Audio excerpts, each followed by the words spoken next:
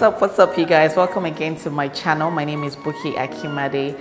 You've come to the right channel for the best Nigerian food recipes, kitchen tips, kitchen tricks and hacks. So I'd like for you to subscribe to my channel if you're new here. Also hit the bell so you get notifications every time I post new content. In today's video though, I want to show you how to make my favorite stew. It's called imoyo, which is light stew. And I'm going to be using fish, one of my favorite fish, croaker fish. So we're calling this light fish stew, which is imoyo stew, where I'm from. This stew is pretty simple. It doesn't need too much. I'm only using my croaker fish, some tatashe tomatoes, onions, and fresh rodo. And I'm using salt and stock powder. I'm going to add a little bit of curry powder in this recipe, even though it's optional. And we typically do not use it, but I want the flavor of this in this stew. And that is all for the ingredients for this recipe. I'm going to start first by washing my fish. I like to do this with lemon. And did you know that lemon adds flavor to your fish? So you can also squeeze it in the stew or squeeze it, squeeze some lemon juice on your fish when you're done cleaning it and it's absolutely fine.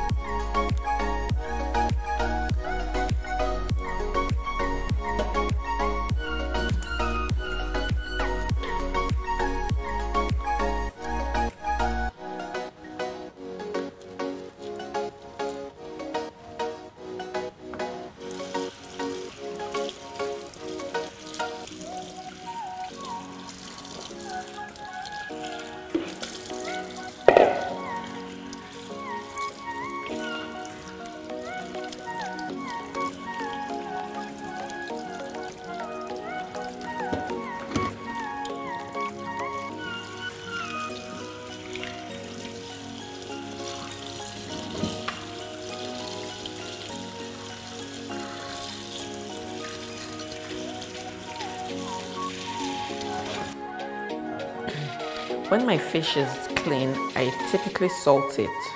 And I use just salt, obviously to salt it. But I mean, I don't add any other seasoning to my fish. I just use salt and I let it sit for about two hours if I have the time before I cook. If I don't, it would be about an hour, just so that the fish can get some taste.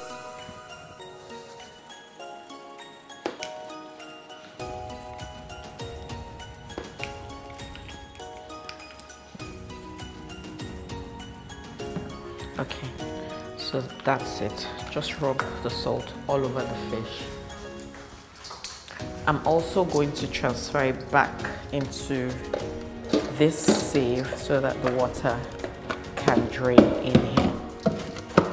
So I'll just leave this to sit. You can put it in the fridge for the two hours or the hour however long you have but I want it to sit out here um, while I'm doing other things. Next, I'm going to blend my peppers. I'll just cut them into smaller bits so that it blends properly.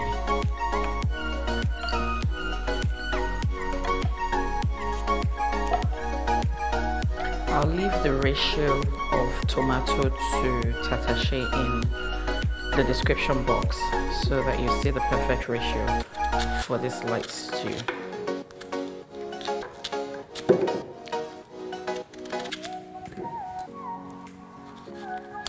If you like it spicy, by all means add a lot of habanero.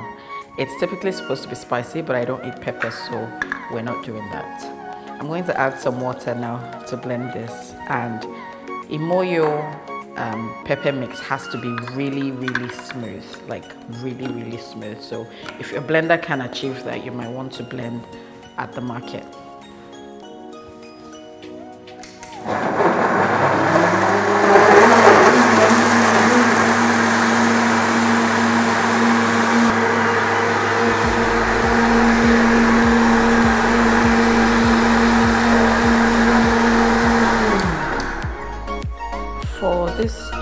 Using a mix of palm oil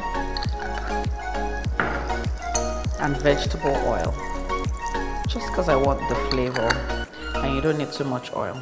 That's not a lot compared to the amount of peppers that I have. So when this is hot I'm going to add in my pepper mix. Now in goes my pepper mix and you can tell that it's really really light because of course this is a light fish stew. So it's really really light I'm going to add in my stock powder, just a little bit. And a little bit of the curry powder, which like I said is optional. And some salt. And this is all of the seasoning that we need.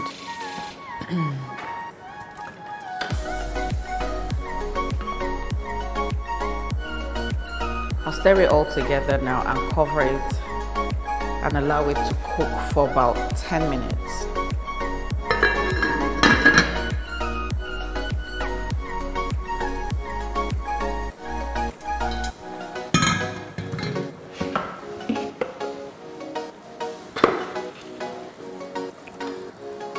This has been cooking now for about 15 minutes and you can see the consistency of it is still light. Now I'm going to add in my fish. Be careful when you're adding in the fish. You want to arrange them so that they cook properly. So I put the big ones at the bottom and then I can sort of put the small ones at the top and then hang the tail on the side.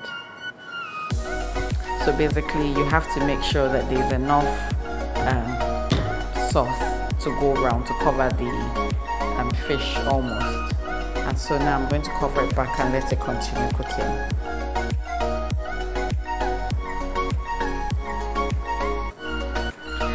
This is what my fish stew now looks like. It's been cooking for about 10 minutes. Fish doesn't take a long time to cook, so you don't want to overdo it. It only needs a couple of minutes, but I allowed mine a bit longer because the fish pieces are big and, you know, just the general size of the fish. But now it's cooked and it's ready to serve. Know you're going to be skeptical about this stew, but don't be. It's common amongst Lagosians, and I think a few other people in the southwest of Nigeria like this stew as well. We don't fry the fish at all. It's not supposed to be fried. The fish is supposed to be completely fresh just wash it, clean it, and it goes straight in the stew. That is a common thing to do. I know people argue you should fry your fish and blah blah blah, but no, that's not necessary for this Imoyo style stew. I hope you're going to try out this recipe. If you like fresh fish, let me know. Leave your comments, your suggestions, and everything in the comment section. I'm going to read them and respond to them. Don't forget to follow me on Instagram if you're not already following me on there. I post the best kitchen hacks on that page. So follow me on there. Thank you so much for watching this video. I'll see you in my next one. Bye-bye.